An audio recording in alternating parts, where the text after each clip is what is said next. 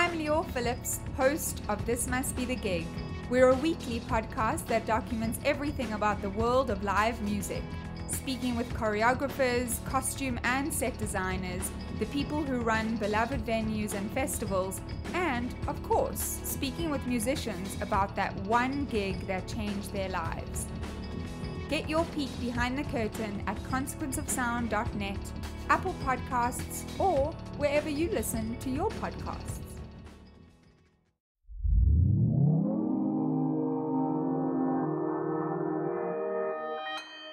Consequence Podcast Network.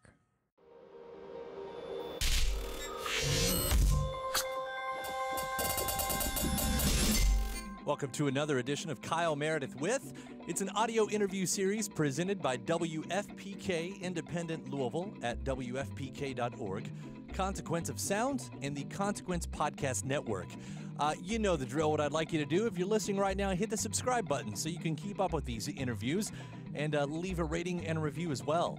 I'm Kyle Meredith. Today, my guest is Jim Reid of the band The Jesus and Mary Chain. They're about to hit a tour with Nine Inch Nails. So, we talk a little bit about their history and uh, some news about them already thinking about their next record, the follow up to their comeback record, Damage and Joy. Then we get into the 20th anniversary of their album Munki. This is the album that sort of broke up the band. It was the final record for like over well over a decade, and Jim gives me all the gruesome details that went into it as well as all the celebratory moments. It's a great record that was barely heard. It's one of my all-time favorite records. I'm so happy to be talking with Jim Reid here. It's Kyle Meredith with the Jesus and Mary chain. Hello. How are you, sir? Uh, good, thanks. I do want to get into a um, sort of a cool anniversary for the uh, Mary Chain, but I, I, know you guys still got lots going on this year. Uh, I guess the next big thing you're going on tour with Nine Inch Nails is that the next the, the next big outing? Yeah, yeah, that's that's that's the next thing. Yeah. Yeah. How did that one come about? Did they reach out to you? It's a it's a great tour to be on. Uh, yeah, I mean it was pretty straightforward. They asked us to do it, and uh, we were pleased to be asked, and it should be great. I was, uh, you know, I was tracing both bands back, you know, to, to similar spots, and I said you were both on the Crow soundtrack, right? It's a it's a good opportunity for those Crow soundtrack cuts. Do you all have a history with uh, with Reznor's gang uh, prior to this? Well, you'd have to go back quite a long time, but they uh, they they were on tour as our guests in nineteen Christ, nineteen eighty nine or nineteen ninety. Yeah, wow. So it's been quite a while. Mm, yeah. is this still part of the Damage and Joy tour? Are you kind of calling it that, or is this clean slate? I mean, we, we will be playing songs from that album, but it's a bit of a stretch to call it part of the Damage and Joy tour. Um, it's just the Mary Chain live. There'll be a bit of everything, and uh, there'll be some of Damage and Joy, but we've sort of stopped calling the tour that, if you know what I mean. We're thinking of doing a, a new album soon, so that, after this tour, I reckon that'll be the, the, next thing we do. Yeah, that's great news. I mean, by the way, uh, Damage and Joy was one of my favorite records of the year. Uh, pleasantly pleased because you never know. You never know after a while, you know, what the band's going to sound like. And you all knocked it out of the park with that one. Well, thanks for that. Thanks for that. So, yeah Mm. job done. I, I might want to ask then, you know, if, you, if you're at least thinking about a new record, d- is the songwriting happening? Because I know with Damage and Joy, you were able to, you all were able to kind of reach into the bag for some of the older stuff to reintroduce. Is, is that going to be a, a similar idea maybe with the next one, or do you think this is going to be all new? It will probably be mostly new. I mean, as far as anyone's concerned, it will be songs that they haven't heard before. And as to whether they are songs that were written like 10 minutes ago, um, probably not. Yeah, I mean, it won't be songs that have been released before, but there'll be some new songs and some songs that we've had knocking about for a while. I mean, we work best to a deadline, and, um, you know, because we're, we're the laziest people you could imagine. so we're kind of always put these things off as long as we can, and then we get to a point where it's like, well, let's just um, say we're going to have an album recorded by six months from now, and that, that's how it works. Well, it, it's great to see this this latest chapter of the band. I mean. Obviously, you were one of the uh, the bands that's been uh, celebrated that no one was quite sure if we would ever hear from again. You know, if it was going to happen for you all. So I was I was really happy with uh, with the way it's turned out. Very much. Mm, thank you. Yeah. I do want to hit on one of the big uh, anniversaries, though, because uh, that's what I reached out about. Uh, it's the 20th anniversary of the Munki record, and I feel like this is one of the, you know, it's not as celebrated as much as some of the other ones, and it's a big favorite of mine. Um, uh, well, I'm glad it's a favorite of yours, favorite of mine. It's one of my, I think it's up, with, up, definitely up there with the rest of the Mary Chain output. Might be one of the better records. I don't know, but it, it it was a hard record to make, and the band was kind of um, falling apart for various reasons at that time. But the music didn't suffer. But the, at that time, the, the other thing is the Mary Chain was sort of kind of, I don't know, people just thought that the Britpop had come along and made us, marginalised us, made us obsolete which uh, we felt was rather unfair to say the least. But um, yeah, it didn't get the fair shake that I think it deserved. It's interesting how you know some people per- perceive an album, how they hear an album in, in the moments, because it, it, you know a lot of times it can be clouded by you know fatigue you know i mean you guys were a band for a long time and at that point you're over a decade i guess and that or or if there's a change in, in the sound in the world you just don't hear it sometimes uh, in the way that uh, I guess it should be heard. I feel like that was probably a part of that as well. I mean, I, I, suppose what it was was we were just like carrying on from where we'd left off with previous records, but um, it seemed that everybody wanted Britpop and more Britpop, and um, we didn't really see that there couldn't be room for both. You know what we were doing and you know what everybody else wanted to do. It just it felt as if a bit like uh, we were wearing artistic straitjacket back then. You know, you had to do things that all sounded bouncy and upbeat and uh, jolly and fit in with this thing that everybody, this runaway train that was that movement. And um, we didn't feel like that at the time. We were going through various nervous breakdowns, and we. William and me were just not getting on at all. I think everybody knows about how it all went down we, I mean, we really we, we hated the sight of each other at that time. So the record was never going to be a happy record. It was never going to be something that Britney Spears was going to do a cover of. You know, what I mean, it was. It was, um, it, it, it, really was. It was on Nervous Breakdown record. Even if it hadn't been the Britpop, I mean, just with what was going on in the band, you, you still did the record. Did you th- know that it was probably going to come to an end? The band was going to come to an end either way like something had to give at that time. It wasn't, I mean, it's hard to describe it really. It wasn't fun being in a band anymore. And I, I didn't look forward to going into the studio and I didn't look forward to going on the road. And got to a point where you thought, well, this is, you know, it's supposed to be fun, is it not? You know, and if it isn't, isn't there something wrong? I mean, I keep saying I don't think the music suffered at all. I think that music still stands. You know, it is what it is. It did the, you know, didn't do the job that it was intending to do. But I, I, when I listen to that record now, I, mean, it, I just feel saddened that hardly anybody heard it, and that people could be so affected by, I don't know, well, it's so fickle, really, that people wouldn't have given us a, a chance at that time for reasons of fashion, really. Well, that's a, a, big point to make there, too, because I think that makes this album all the more impressive. That here you have a cultural movement that's moving away, here you have a band that's falling apart, and yet these songs are so good. Like, is I don't know. Do you credit that to just you all just being great songwriters? I mean, there had to be some creative juices still working around you all, even with all the obstacles, to make these songs come out in the way they had. Well, there was a lot of um, me and William. Each song was a kind of a little bit of a fuck you to the other one, if you know what I mean. And it was, a, you know, it's all you know. You know, you hear about like sort of uh, you know, the recording of Rumours, like Fleetwood Mac, how it you know, all of these songs were so personal, and the band, you know, everybody shagging everybody else, and you think, well, how the fuck could a band, you know, function under those conditions? Well, it was a bit like that with us. It was like all of these songs about hating each other and all of these like situations where we we had to get out of the room if the other one had walked into it. And you think how could we make a record under those circumstances? But we did it. I don't know how it worked and i don't know how we did it but we did. And that sort of plays into of course uh, uh, the one-two punch of I love rock and roll, I, I hate rock and roll. Uh, w- there was a little bit of that jabbing going on there, right? I only wrote that song to annoy him. You know, he thinks that that's the only reason I wrote that song. And the, the, the truth of the matter is that I love his song, I Hate Rock and Roll but I felt it was only half the story. All of the things that he describes in that song, I completely agree with. I, I hate all of the fucking like you know all of the little fools that don't have a clue, um, and I, I you know I, I hate having to deal with them, and I hate all of the the sides of the music business that aren't so pleasant. But at the same time, you know, rock and roll gave us our existence. It was it was what we lived and breathed for at that time, and the you know the 1980s and 90s and it gave us a life to live. So I felt as if the, the negative side he pointed out and the positive side I pointed out.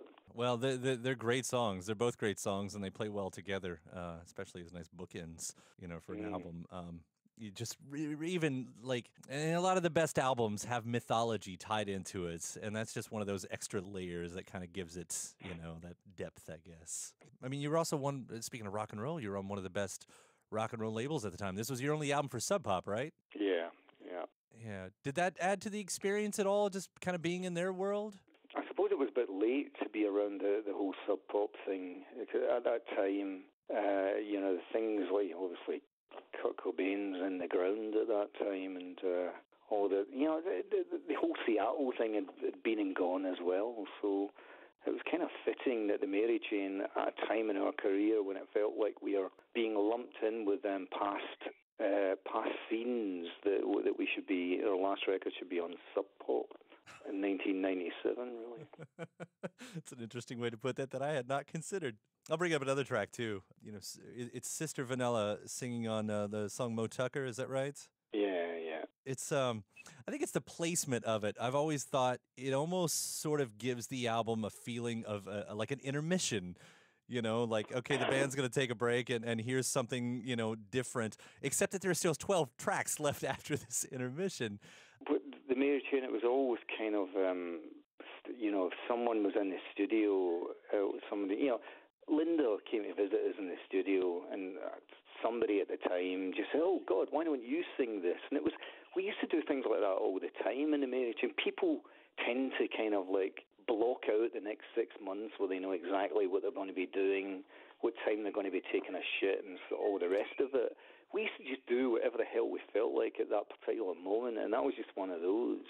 My sister was in the studio. I was about to do the vocal, and I said, "Here, why don't you do it?" And she did it. She did it in one take, and we thought it sounded great. And uh, you know, and she named it Moe Tucker because we all thought she sounded like Moe Tucker singing, and that was it. That was how that came about. And the, you know, the other thing I point out about this record too is it, it does. I've seen reviewers say this, so I am borrowing, but for it to be the final record, whether you knew it or not, it did sort of encapsulate every one of your sounds through the years. You know, there was the dark, drony, spacey stuff that was happening. There was the uh, concise. You know, poppy, punchy stuff that in, some of the songs. Was that complete coincidence, or, or were you guys maybe trying to to tie it in a bow like that? I think uh, we uh, uh, we weren't aware of that at the time, to be honest with you. But I think it was a bit like that that we were trying to get all you know all Mary Chain sounds together on one record. It's a, this is our last shot at it. Let's just get a little bit of it, everything, including the kitchen sink, in on this one. So yeah, I don't I don't know if it was a conscious thing that we thought at the time, but certainly was something like that was going on when you look back on it. So when when it did finally come to an end after that, you know, with as much weight as you all were carrying with each other, was it scary to think that you're off on your own, or was it a relief? It was well, it was it was both. It was definitely both. Um, uh, you know, it, it need not have happened that way. I've, off, I've I've back on that that time many times, and I think had we had good people around us that could see what the situation was, they would have said, "Look, you you go off in that direction, and you go off in that direction. Don't see each other for a year and see how it goes." But instead, our management booked us a big tour of America, which like. I think we got three days into that tour and the band broke up. So if someone around us would have realised that, you know, this could be mended, it might have been, it could have been retrieved. But, you know, no one could see that and nobody really cared enough. So we just got you know, I mean, we just got chucked into the the deep end with the sharks, and uh, and that was it. We we just we we were screwed, and uh, you know we we we came to blows, William and I, after two or three days into the tour. And we had a famous show at the House of Blues, and Christ, uh, blues, plenty of blues going on that night. And it was it was just horrific, absolutely horrific. Wow. We we broke down and we, we broke up and broke down in front of an audience. Wow. I mean, that's that's that's got to be its own heavy moment right there, knowing that that everyone's witnessing this. God! And I was so so wasted. I forgot that I was on stage and it was a show. I was like screaming at William as like it, it you know as if it were in like one of our houses. And then at some point, I turned around and wondered who all of these people were, and I thought, oh, oh, it's a gig. I get it. And that was it. That was the end of the band. That's like a movie moment right there. Just one of those. God. yeah. Well, you know, it did play into the, you know, the if absence makes the heart grow fonder, as the old phrase goes. You know, a lot of bands was able to kind of uh, use that to their advantage eventually, and uh, it's important to say eventually because, you know, there was a whole slew of those bands who sort of disappeared into the night one night, and everyone suddenly realized, you know, what they had lost, and and there was the demand, there was the fandom, there was all of these bands in the 2000s would just drop you into their songs. I mean, what it was, I can I can recall Death Cab and and Jimmy Eat World and even the Shins recently, right? Uh, did did these make it their way towards you as well? Oh yeah, I mean, I, I, well, I've heard some of those things, but um, yeah, I mean that's that, that's what the Mary tune was for as well. It was there was a lot to be learned there. We were, I mean, we were passing on sort of like ideas to whoever was listening.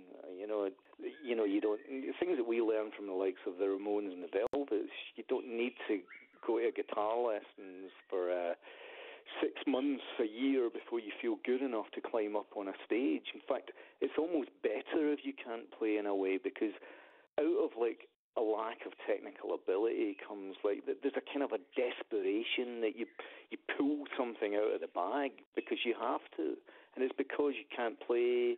You've not had lessons to screw everything up. You just think, well, what can I do?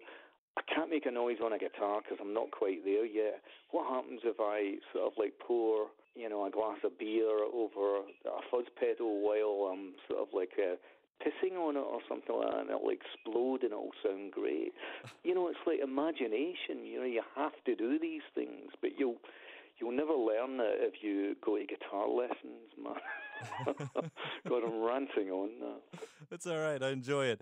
For an album that never got its credit, for an album that you and I are both, uh, you know, in, enjoying talking about here, do, do is there any celebration? Do, do you find, uh, is there any time to celebrate the record this year in any way? Probably not, and it's just purely because I don't think there's the demand. I mean, it's still quite an obscure record. Uh, there's a kind of a hardcore Mary Chain, Mary Chain crowd that, that do seem to bring the record up from time to time, but if I'm being totally honest, there's not enough of them. So we'll leave that record for a while, and um, maybe in another five years there'll be enough people around to to make the celebrations more concrete. Well, I'm going to do my part here to help spread the word. It is a fantastic, fine record, and I do love it. Well, thank you very much. Yeah.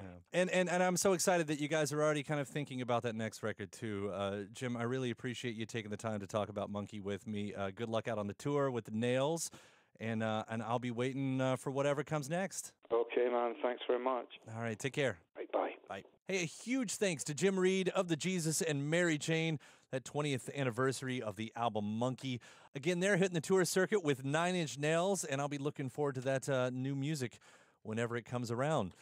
Go ahead and hit the subscribe button, especially if you're at YouTube right now to keep up with these interviews, or if you're listening to the podcast, uh, iTunes, Podchaser, hit the subscribe button there too, uh, and then leave a rating and a review.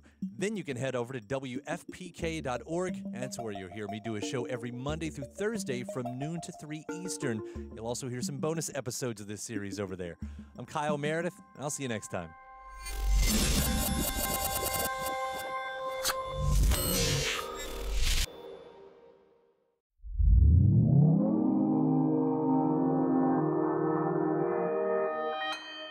Consequence Podcast Network.